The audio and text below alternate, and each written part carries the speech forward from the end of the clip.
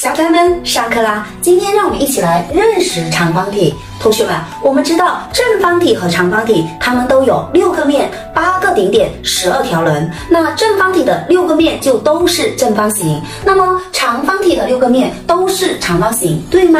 当然不对。来，我们看右的这一块图，它是一个长方体，它是一个特殊的长方体。特殊在哪里？特殊在上下两个面是正方形，其余的四个面是完全一样的长方形。因此，长方体的六个面并不一定都是长方形，有特殊的情况，两个面是正方形，其余四个面是完全一样的长方形。所以这一句话就是错的。再看下一道，长方体最多有几条棱，长度相等。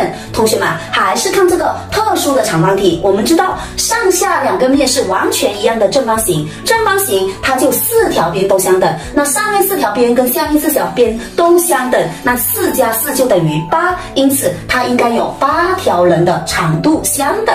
同学们，你学会了吗？